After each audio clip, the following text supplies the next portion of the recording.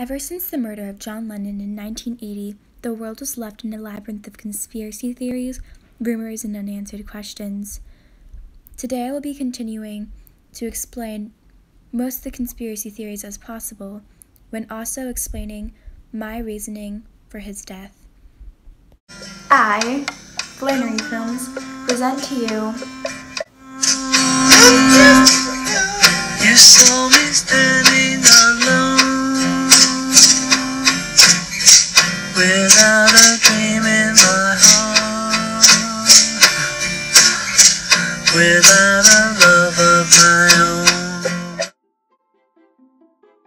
Let's start with the superficial facts. John was born on October 9, 1940, during World War II in Liverpool, England. Born on the 9th of October 1940, when I believe the Nazis were still booming us, led by Adolf Hitler, who only had one. Anyway, they didn't get me. I attended Tabarika schools in Liverpool and still didn't pass much to my auntie's supply. As a member of the most publified Beatles, my and PG and R's record might seem funnier to some of you than this book, but as far as I'm conceived, this correction of short Richie is the best laugh I've ever ready. God help and breed you all. John's zodiac sign is a Libra, just in case you're interested like me. John got his first guitar when he was 14 years old. John was raised almost his entire life by his Aunt Mimi, since his parents Julia and Alfred had frequent arguments and a messy divorce. John never respected his father, but he grew to have a happy relationship with Julia. She was also a mother to two other girls, John's half sisters, Julia and Jacqueline. Music ran in the family because Julia played the banjo and the ukulele. And on July 15, 1958, when John was 18 years old, from getting hit by a car. This is a sudden and quite traumatic death for John to go through. And righteously, it's hard for anyone to ask for help. But we all know that men have trouble asking or admitting that they need help, especially back then, even though support and kindness should be a human right. John met Paul McCartney one fateful day when John performed at a church party with his first band, the Quarrymen, the members being Pete Shotton, Colin Hanton, Chas Newby, Rod Davis, Stuart Sutcliffe, and John, of course, who was the lead singer. Back then, when you first met John, he always acted sort of arrogant and cunning.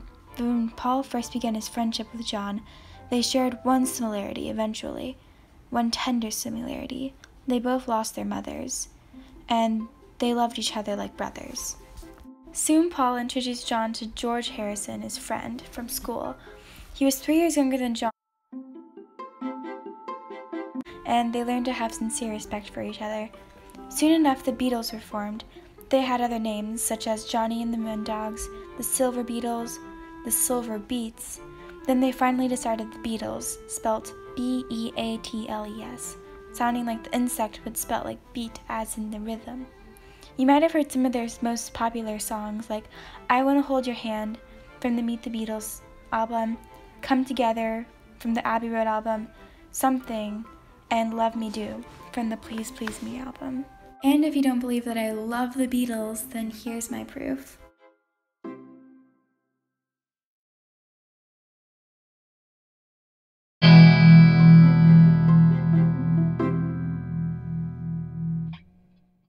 Back in the 60s, coming out as gay was an incredibly daring choice. You'd risk losing all friendships and respect from your peers. Sadly, even if you didn't admit you were a homosexual and people thought you were, you would be harassed and misunderstood. And still to this day, it infuriates me that we treat each other this way. But because of these reasons, the Beatles all promised that they were straight. It's rumored John and Paul B had an affair on September 30th, 1961. John and Paul began hitchhiking from Liverpool to Paris. John got a hundred pounds for his 21st birthday and invited Paul to come with him. They apparently had a great time. They stayed at a cheap hotel, sharing one bed. Paul even took a photo of John when he was sleeping, probably as a joke. But here it is. John even said, Paul brought me a hamburger to celebrate. I wasn't too keen on reaching 21. I recall one relative telling me, from here and now on, it's all downhill, and I really got a shock. I forgot to mention that John was married to Cynthia Lennon, on August 23, 1962, and they eventually split up November 8, 1968.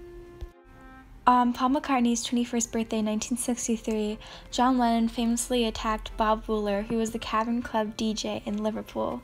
He basically accused John of sleeping with their manager, Brian Epstein, during their last holiday trip in Spain. I'll let John explain the rest from here.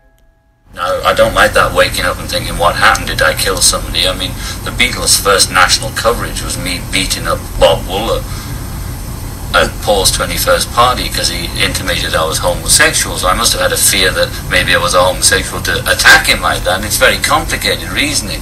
But I was very drunk and I hit him. And I could have really killed somebody there. Recent years, the McLennon fan base started. And when I say recently, I mean the past 10 years. People ship John Lennon and Paul McCartney. And while I think it's cute, it's not fair and respectful to John Lennon because you don't know if he was gay or not, and to this day, Paul McCartney denies ever having relations with John. Okay, imagine you have a best friend that happens to be the same gender as you, and it's completely non romantic, and you both already have partners. What if people started shipping you guys? Wouldn't that make you uncomfortable too?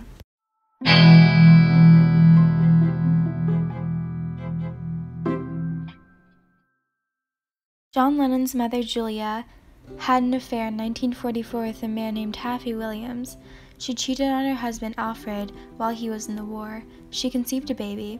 She was also ashamed of being unfaithful to her husband Alfred, but she wanted the best for her child. On June 19, 1945, Ingrid Peterson was born.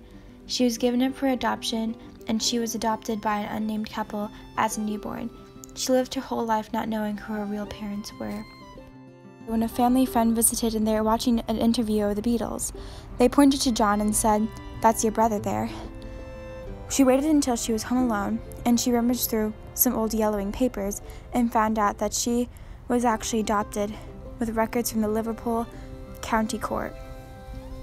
Sadly, she never got the opportunity to meet John, even though John really wanted to meet her when he found out one day at a family gathering.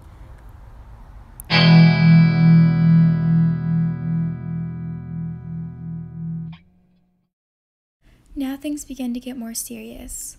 On December 8, 1980, John and Yoko recorded a session at Record Plant Studios. Their son Sean was five years old at the time. Here's a clip of John and Sean together while they were on vacation.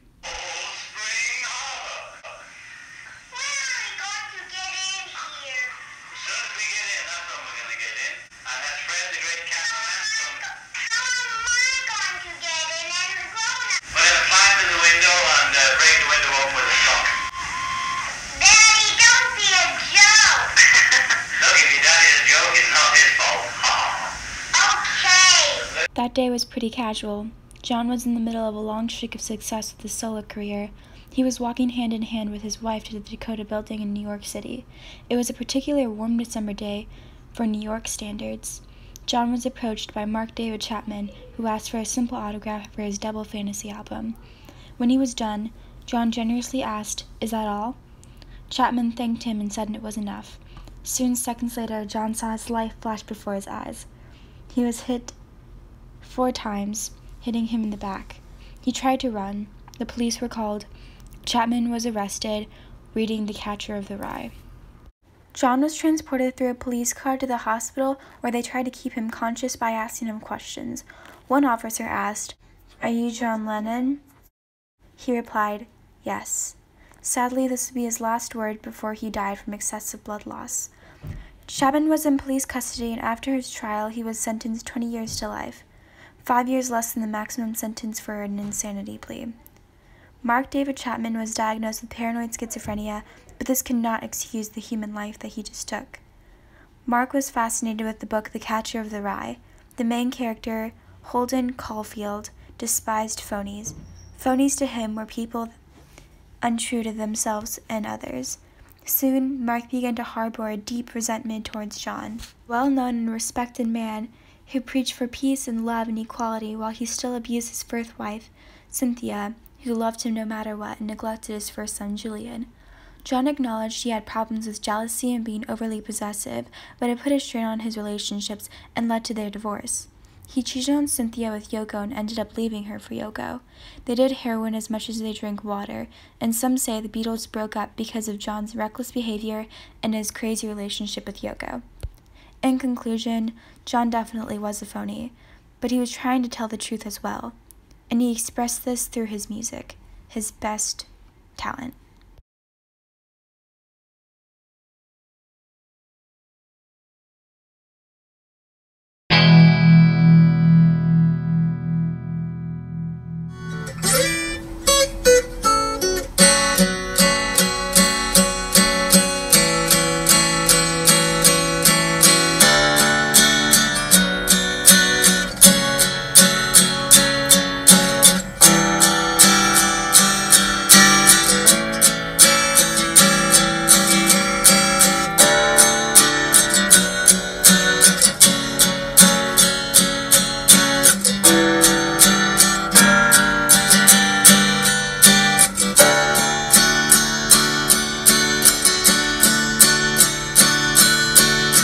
Thank you.